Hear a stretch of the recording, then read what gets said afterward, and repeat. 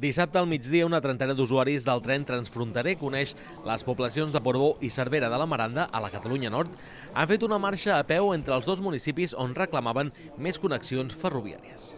I més que res és una protesta per dues qüestions importants. És perquè millorin les interconnexions entre Portbou i Cervera, és a dir, que els trens de la Renfe arribin fins a Cervera i els trens de la CNCF arribin fins a Portbou, per tal d'aprofitar més el, el transport públic convencional de proximitat i després que hi hagi més coordinació entre els horaris també de la Renfe i de la CDCF. La marxa ha servit per denunciar el que ells mateixos denominen com a precari i vergonyós servei que ofereixen tant la companyia espanyola Renfe com també la francesa SNCF.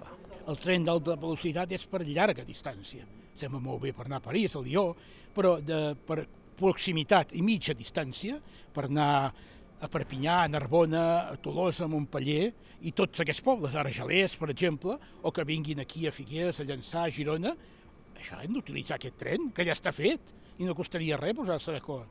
I podien eh, millorar la, les, les inter, el, el turisme, el comerç i tot, l'economia en general. Eh?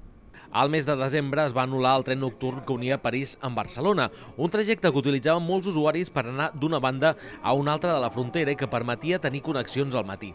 De fet, el poble de Portbou està patint la davallada de viatgers i els seus treballadors i ciutadans veuen com els seus problemes es van agreujant.